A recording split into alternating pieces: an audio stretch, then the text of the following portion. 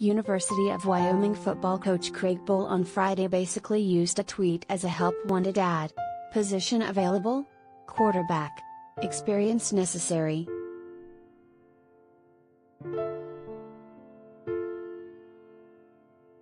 We believe this is a great opportunity for a transfer quarterback to come in and make an impact on our program, Bohl wrote.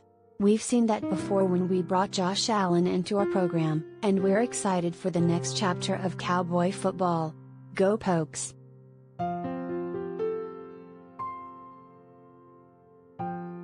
Bohl's outreach reflects college football's changing times.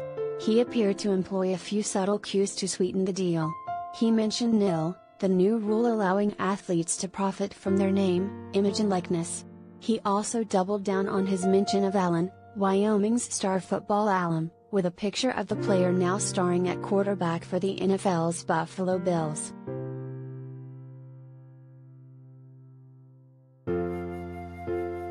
Bohl received what appeared to be some serious recommendations, and a few not so serious.